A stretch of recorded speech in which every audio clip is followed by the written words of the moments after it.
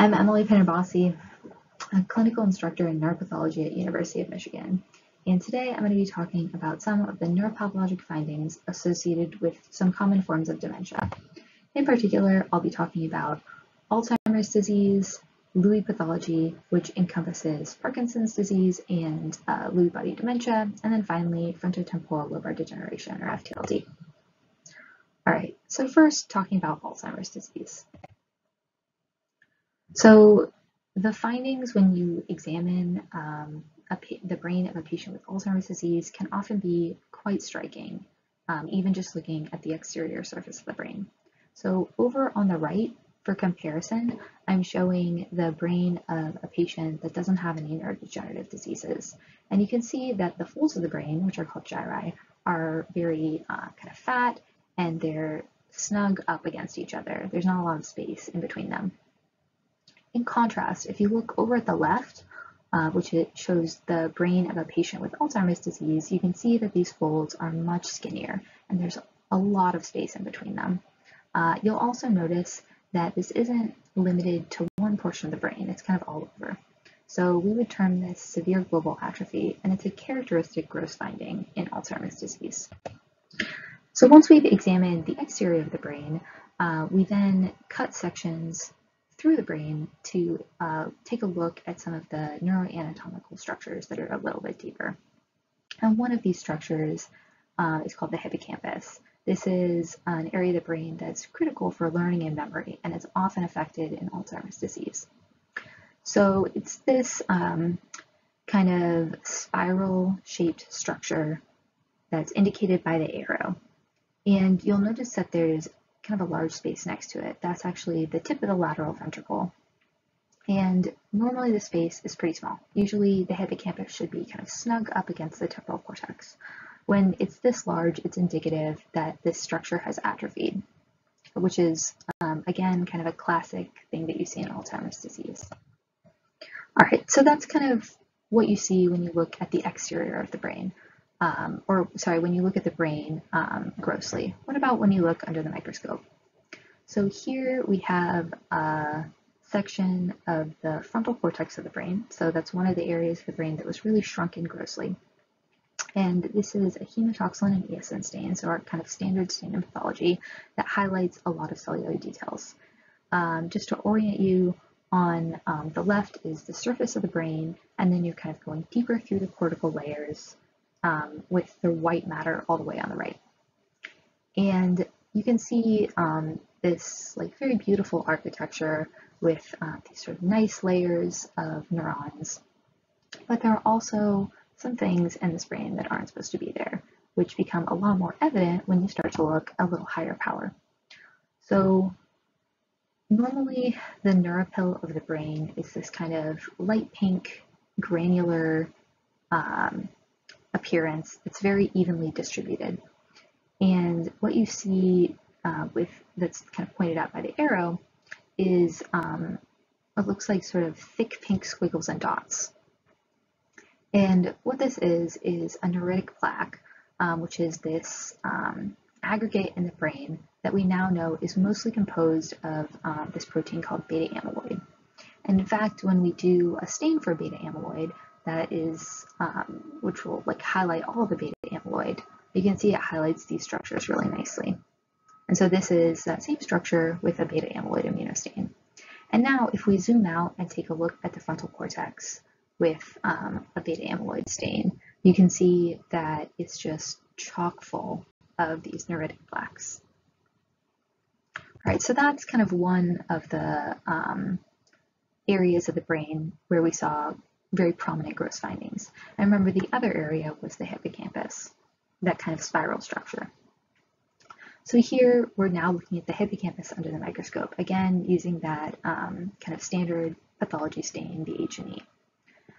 And you can appreciate um, under the microscope why this looked, you know, so spirally.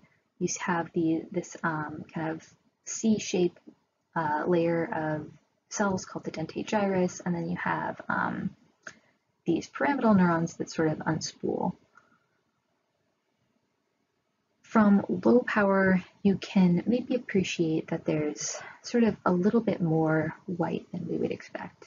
And that is indicative um, that some of these neurons have died, leaving kind of blank spaces.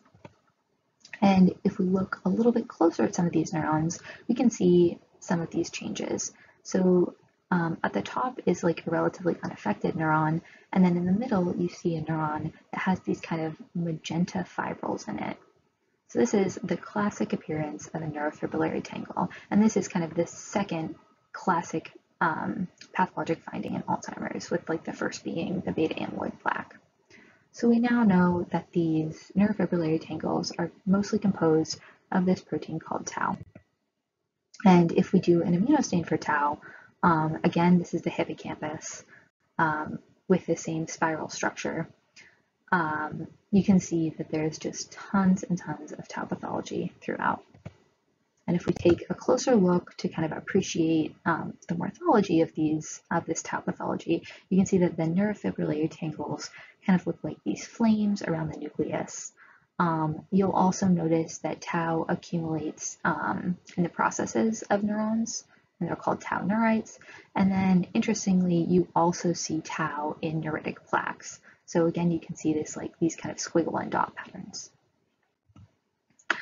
All right, so you'll notice, or maybe you've noticed that um, I called this section Alzheimer's disease neuropathologic change instead of just Alzheimer's disease. And the reason for that is that these classic pathologies, the um, amyloid plaques and the neurofibrillary tangles, also are present in the brains of people who are aging normally without um, symptoms of uh, dementia. However, the more of these pathologies you have, the higher likelihood that um, they'll be associated with a clinical syndrome of dementia. And so the way that we kind of handle this as pathologists is that we stage each of these pathologies. Um, so we give each brain a stage for beta amyloid, a stage for the neurofibrillary tangles, and then finally um, a third score, a C score, that is just the density of um, amyloid plaques. And then we kind of integrate these scores together to say this either isn't Alzheimer's disease neuropathologic change, or there's a low, intermediate, or high likelihood that this degree of pathology will be associated with the clinical syndrome of dementia. All right, so this first part of the scoring is the thal phase, and it's basically where is the beta amyloid present in the brain. So we now know that amyloid pathology follows this kind of stereotyped um, progression where it starts in the cortex and then progresses into the deep gray structures and then finally down in the brainstem. And um, finally involves uh, the cerebellum. And so what we do as pathologists is we take standard sections in some of these brain areas, and then we do immunostains for beta amyloid. And we simply score like, is this, is beta amyloid uh, pathology present or absent? And based on the brain areas where we see beta amyloid pathology, we assign a phase. All right, next we stage the tau pathology. So tau pathology, um, like beta amyloid pathology, follows this kind of stereotyped progression where it kind of begins in the entorhinal cortex um, and then progresses to involve um, these different areas of the hippocampus, um, usually sparing the subiculum. And then the kind of last affected areas are um, the, the cortex. And simply by looking at this one section, the hippocampus, um, it basically tells you um, kind of all you need to know about the distribution of tau within the rest of the brain. Uh, that's simplifying a little bit, but this is this is the basic staging um, schema. And here's an example again. So here's the hippocampus with the tau immunostain, and you can see here that we have tau pathology kind of throughout the hippocampus, um, and then all the way into the temporal isocortex. So we're within the cortical stages. All right, and finally, the last component to scoring um, the degree of Alzheimer's disease neuropathologic change is looking at the density of amyloid plaques. And here it's just um, basically counting how many plaques you have in a single field. And this is an example of kind of the highest density of plaques that you get, the C3. All right, and then finally, you integrate these stores, as I mentioned, to um, determine the likelihood that this degree of neuropathologic change would be associated with dementia. All right, and then we finally issue a diagnosis um, in which we say, you know, it's Alzheimer's disease neuropathologic change. We list again the likelihood, and then we'll list out the three um, components that we score. All right, so now Lewy pathology. So as I mentioned earlier, this encompasses Parkinson's disease and Lewy body dementia. And notably, these diseases are clinically um, distinguished by kind of the onset of motor symptoms, the temporal onset of motor symptoms um, in comparison to cognitive symptoms. As neuropathologists, we actually cannot distinguish between these. So um, what we do is we kind of evaluate um, all Lewy pathology and then kind of give it a stage. So in terms of the gross findings that are associated with Lewy disease, so there can be atrophy like we saw with Alzheimer's disease, but also the um, brain volume can be sometimes relatively unaffected. But one very characteristic feature of Lewy disease is um, shown below. So over on the right, this is um, a section through the brainstem in an unaffected patient where you can appreciate kind of the normal neuroanatomy. So um, at the bottom of the image is the cerebellum, the top of the image is the midbrain. Um, I always think this kind of looks like a Mickey Mouse. So it's got the two ears, those are the cerebral peduncles. It's got the mouth, that's the cerebral aqueduct through which CSF flows. And then there are these kind of two black lines, that's the substantia nigra. Now, if we look over on the left, this is um, a cut through uh, the midbrain at the same level. And you can see that you no longer see this black line. And the reason for that is that the neurons that make up um, this pigmented structure um, are actually preferentially affected uh, in Lewy body disease. All right, so now taking a look under the scope, this is that same um, the same neuroanatomical structure. So over here on the left is like the Mickey Mouse ear. Um, near the bottom is the cerebral aqueduct, the Mickey Mouse mouth. And then um, kind of going um, across the screen is the substantia nigra. And if we go a little bit higher power, you can appreciate um, that there's pigment in there. So that's why, you know, grossly it appears like a black or brown line. Um, and with um, like after looking at a lot of cases, um, you can appreciate that there really aren't as many pigmented neurons here as there ought to be. And once we take um, a closer look, you can see that inside these pigmented neurons, you have these kind of bright pink structures. You can also appreciate that there's some areas where you see pigment that isn't in a neuron, and this is actually in macrophages, and it's uh, indicating that these neurons have died.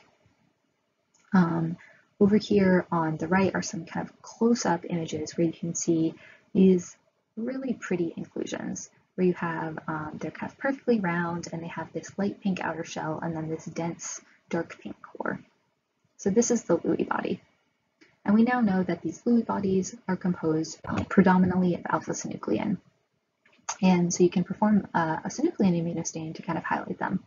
And you'll notice that you start to see um, that synuclein has accumulated in other areas as well. So you see that it's accumulated in the processes of neurons, forming these Lewy neurites, and you also see kind of um, these like vague amorphous blobs of synuclein, um, which is kind of what you get before it compacts down into a Lewy body. All right, and then if you zoom out, you can see that um, in the substantia nigra, there's just tons and tons of synuclein pathology. All right, so as I mentioned, um, neuropathologically, we cannot distinguish between Lewy body dementia and Parkinson's disease. Um, but again, like tau and like beta amyloid, Lewy pathology follows this kind of stereotyped progression through the brain. So it begins in the um, dorsal motor nucleus of the vagus, progresses through these pigmented structures, um, the locus ceruleus in the pons, and then the substantia nigra in the midbrain, which is what I, what I showed you. Um, and then it kind of escapes the brainstem into and uh, progresses into the limbic system, in particular the anterior cingulate and the hippocampus. And then finally, um, in the last stage, um, it starts to involve the neocortex. And so again, what we do as pathologists is take standard sections in these brain regions, stain for synuclein, and then um, kind of evaluate um, whether Lewy pathology is present, is present, and if so, um, the extent of it. All right, and here is um, an H&E of part of the limbic system, the anterior cingulate. Over here on the left, you can see this large white matter tract, that's um, the anterior commissure. And then um, looking at the anterior cingulate, I've shown a zoom in view of a neuron um, with another Lewy body. And if you do a uh, synuclein immunostain, you can see that there's just tons and tons of uh, um, Lewy bodies in here. All right. Um, and so as I mentioned before, we um, perform these stains on each of these brain areas and then come up with an integrated diagnosis. So if we had Lewy pathology, um, for example, in cortical sections, we would call Lewy pathology, Lewy pathology diffuse neocortical. All right, so finally moving on to our last neurodegenerative disease, FTLD. Um, so frontotemporal lobar degeneration is actually associated with, um, or is actually subcategorized um, into two broad categories pathologically. Um, those associated with tau pathology and those associated with TDP43 pathology. And today I'm only going to be talking about um, the findings that we see with FTLD tau, which is also called Pick's disease. All right, so these brains have a very characteristic gross appearance. So um, if you look, you'll notice that when you look kind of in the back of the brain, so in the occipital lobe, um, these folds are pretty thick and they're kind of right up against each other.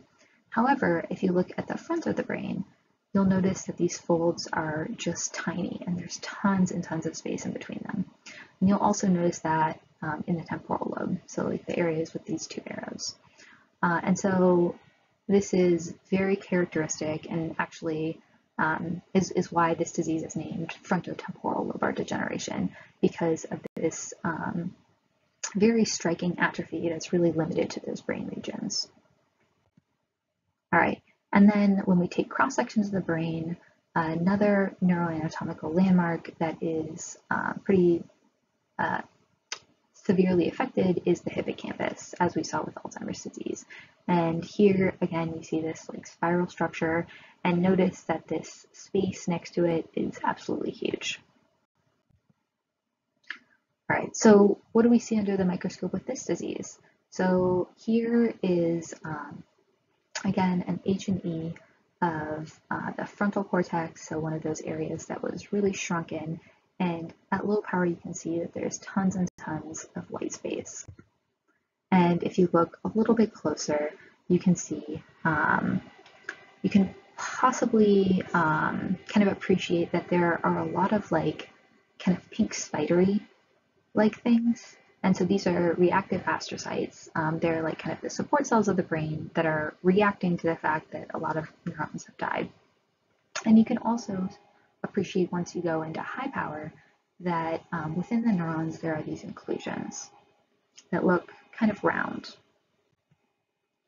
And we now know that um, the major protein component of these aggregates, at least in FTLD tau, is like, as you can guess from the name, tau. And so this is a tau immunostain of the same brain region, and you can see all of these round inclusions, just tons and tons of them. And then if you look at this other area of the brain, the hippocampus, um, again, the, the, second area of the brain that looks um, grossly very atrophic, you can see on H&E tons and tons of these round inclusions in the dentate gyrus. And if we do a tau immunostain, um, it highlights all of these inclusions. All right, and so for FTLD, there's actually no um, staging involved in this. So we simply give a diagnosis, FTLD tau, um, also known as Pick's disease. All right, so I've gone over the neuropathologic findings associated with some of these common neuro neurodegenerative diseases. Alzheimer's disease, Lewy pathology, and FTLD tau.